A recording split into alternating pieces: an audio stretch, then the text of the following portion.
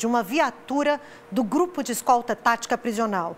Eles estavam sendo transferidos de Três Corações, no sul de Minas, para a região metropolitana de Belo Horizonte. A fuga aconteceu na Via Expressa, em Contagem, e foi registrada. Veja as imagens. Lá, lá, lá, lá, os presos fugindo, os presos fugindo. Os, pre... os presos fugiu, cara. Olha que doideira, os presos fugiu. Pessoal, COP, tiraram a algema de pé e vieram serrando durante a viagem aí, ó, a grade. A grade, depois só tirou o vidro. Só tirou o vidro. Objeto de estudo pra gente. Aí, rapaziada, a algema de pé, ó.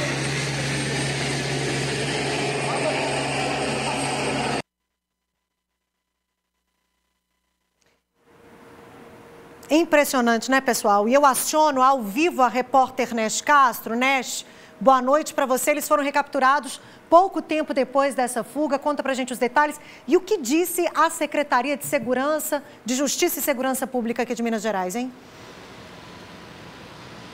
Boa noite, Carol. Boa noite a todos. Uma ação muito rápida da polícia, então pouquíssimo tempo depois eles foram realmente recapturados. O nome desses presos é Jean Bruno da Silva de Oliveira, de 27 anos, e também Gabriel Brenner da Silva. Segundo a polícia, eles usaram a algema dos pés para poder serrar a parte de trás, aquela grade que fica no camburão do veículo. Logo depois eles tiraram o vidro e então fugiram. Ainda segundo os militares, eles estavam eles saíram da penitenciária de Três Corações e estavam sendo levados levados para uma penitenciária público-privada de Ribeirão das Neves.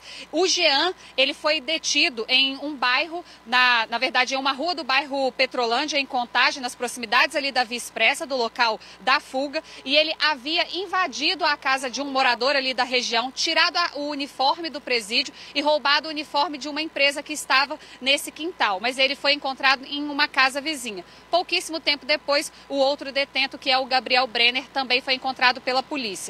A, a Secretaria de Estado de Justiça e Segurança Pública já confirmou essa recapturação desses dois detentos e ainda informou, Carol, que o Jean já tinha do, dois registros de fuga já, um em maio e outro em outubro de 2019. Mas eles já foram recapturados e já estão sendo levados para o sistema prisional. Carol, eu volto com você.